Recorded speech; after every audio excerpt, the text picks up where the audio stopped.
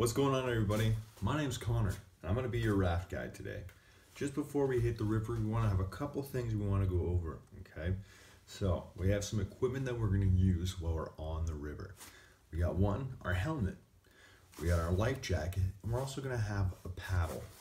So there's things we want to make sure the paddle stays safe when we're using this equipment. So, start with the helmet, we want to make sure it fits, okay? Doesn't move around a lot, and it's done up. Always make sure it's done up, as well as it's snug right to your chin, so it doesn't come flying off.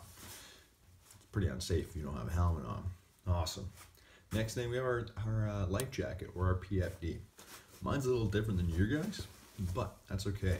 We're all gonna have three buckles on the side. We got one, two, three, and a blowaway belt. So, wanna make sure they're all done up and every life jacket is adjusted perfectly. So if I were to pull up on this, it's not going to come up over my head. So that means it's not going to come off in the river if you were to get out of the boat.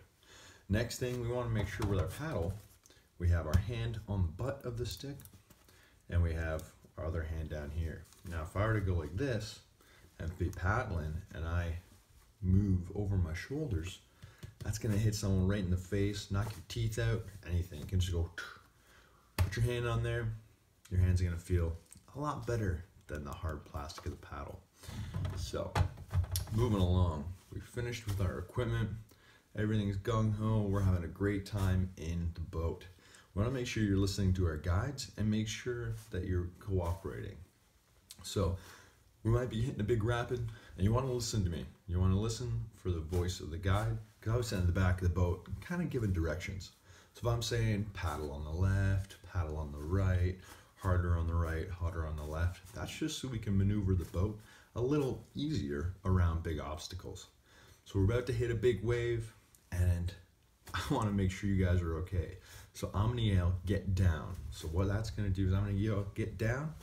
And you're to sit, scooch off the end of your seat. You're to sit down and just kind of wait until I say, get up. You're getting back up and you're to keep paddling. But let's say our boat flips over. So there's two things we can do. We can swim to the right, or swim to the left, or swim to the right. We're gonna get out and scout every rapid, and I'll tell you which way to go beforehand. If you if the boat flips, you're gonna swim river left, okay, or river right. So I'm gonna tell you guys where to go, which is the easiest point for me to help you guys out, or easiest point for you guys to swim to.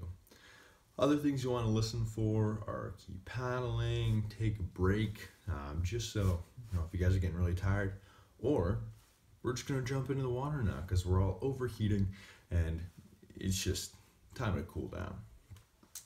So we want to make sure we're listening. We want to make sure all our equipment is up to snuff and we're using it properly and, you know, listening to the guide. So that's going to help us have an awesome day on the river and I hope you guys have fun. Thank you.